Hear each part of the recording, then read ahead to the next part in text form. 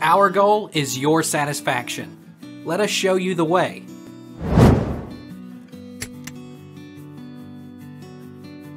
How do I know if I have a 3G phone?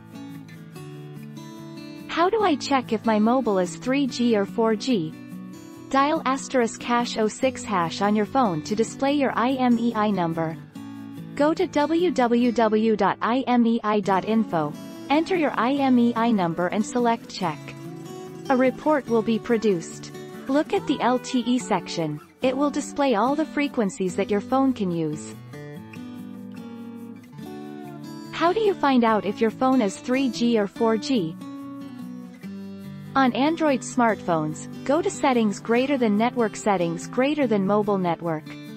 It should give you a drop-down menu of mobile standards such as 2G, 3G or LTE, 4G. If you don't see 4G or LTE, then your smartphone doesn't support the standard. Take our lead. Let's help you make your mark.